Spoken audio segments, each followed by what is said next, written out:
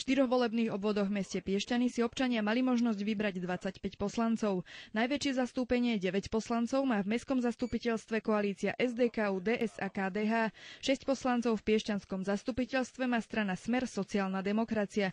V druhom volebnom obvode pôsobí za túto politickú stranu aj Jan Ranostaj, ktorý funguje ako mestský poslanec prvé volebné obdobie. Motivovalo ma to situácia v zdravotníckej a sociálnej oblasti, nakoľko denodenne v tom pracujem, stretávam sa s ľuďmi a vidím, že veľa ľudí a verejnosť o tom ani nevie, je skutočne odkázaná na pomoc zvonku, ktorú jej neposkytne ani štát, ani pracovníci povedzme zdravotníctva v sociálnej oblasti a toto bolo aj dôvodom, prečo som sa rozhodol kandidovať. V treťom volebnom obvode pôsobia zo šiestich poslancov nominovaných politickou stranou Smer sociálna demokracia dvaja, Eva Koláriková a Martin Valo. Poslanec Martin Valo pôsobí v Piešťanskom mestskom zastupiteľstve tiež prvé volebné obdobie. Mojou motiváciou bolo jednoznačne to, že asi naozaj od e, malička alebo od gymnaziálnych rokov som stále v kontakte so samozprávou a s ľuďmi, preto som sa e, aj venoval, aj venujem komunálnej politike.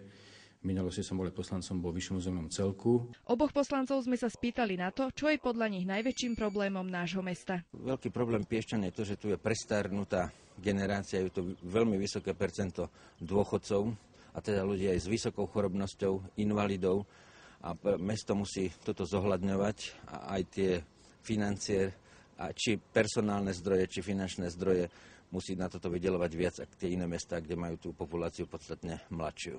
Verím tomu, že by sa mali v prvom rade mm, v meste Piešany skvalitniť vozové povrchy, lebo každý, kto príde do Piešan, vidí a príde autom, tak vidí, aký je stav vozoviek. E, v druhom rade je to mm, urobiť tú väčšiu pridanú hodnotu v oblasti mm, pre návštevníkov mesta Piešany.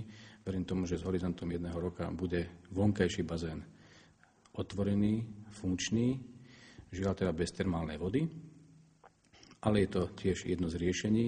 A potom ostáva e, otázka toho, aby sme v tej pridanej hodnote pre občanov a návštevníkov mesta Piešany okrem kúpeľov pripravili celý rad kultúrnych, spoločenských, športových stretnutí. V Piešťanskom mestskom zastupiteľstve pôsobí sedem nezávislých poslancov. Tým mnohí vyčítajú to, že za svoje rozhodnutia nenesú politickú zodpovednosť. Preto sme sa oboch poslancov, ktorí sami sú členmi politickej strany, spýtali, ako vnímajú trend a zvyšujúci sa počet nezávislých poslancov v zastupiteľstve.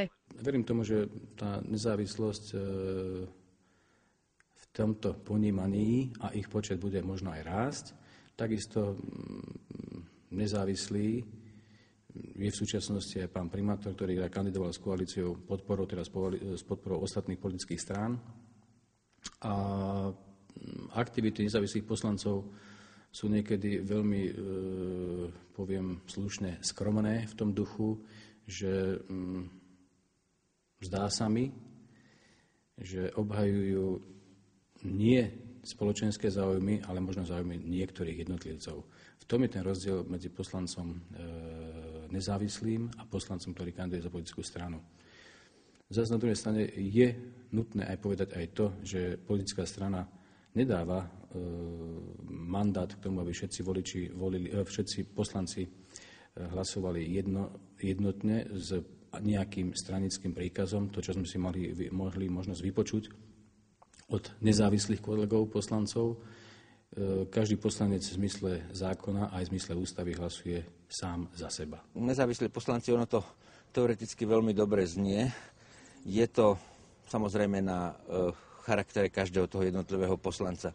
Nemajú, nie sú ničím viazaní, to je jedna pravda, ale takisto aj tá záväznosť voči nejakému hlasovaniu alebo voči nejakým výrokom je úplne iná ako keď je poslanec zaradený do klubu, tam sa to najprv prediskutuje zo všetkých stran preoseje, tak si myslím, že títo poslanci potom prichádzajú pripravenejší k danej problematike hlasovať. Keďže komunálne voľby sa uskutočnia už na konci tohto roka, zaujímalo nás, či sa budú poslanci Martin Valo a Jan Ranostaj uchádzať o post poslancov Mestského zastupiteľstva opäť. Ja áno, ale nezáleží to na mne, záleží to samozrejme od tých voličov.